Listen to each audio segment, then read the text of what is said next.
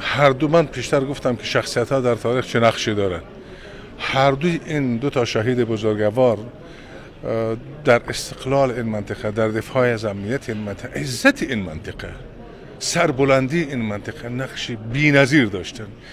شما در هر کجای این جهان اگر شاید من مبالغه بکنم در آخرین بیغوله های آفریقای آمریکای مرکزی اگر اینا را نشناسن جنبشی نیست حرکتی نیست در سطح این جهان فعلا حضور داشته باشه.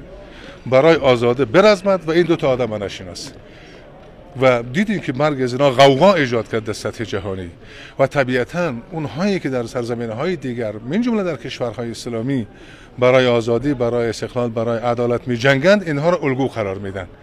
الگوی فداکاری الگوی شجاعت هر دوی این آدم با این شهرتی که داشتن با این نام و نشانه که داشتن خب می توانستن بعد از کمایی کردن این شهرت مثل خیلی از بزرگان ما افتخار بکنن. بلی یک سال ما مقاومت کردیم یک سال جهاد کردیم. حالا پولای ما رو بگیریم نمی‌دانم سرمایه های ما رو جمع بکنیم بریم در این کشور زندگی بکنیم. خب اینا می‌تونستن و بیشتر از هر کسی می‌تونستن.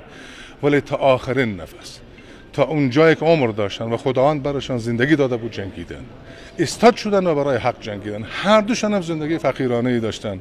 من می‌دانم زندگیشون رو خواندم دربارشون هم آقای سلیمانی مال ثروت نیند هم شهید مسعود چیزی نداشت. هر چی داشتن به خاطر ملتشان و مردمشان و این تمدن خرج کردن و این حوزه و این حوزه را سربلند کردن. شما دو تا چهره نامدار دارین. نمی شود از آزادی و استقلال در این سرزمین ها سخن بگین و این دو تا را فراموش بکن.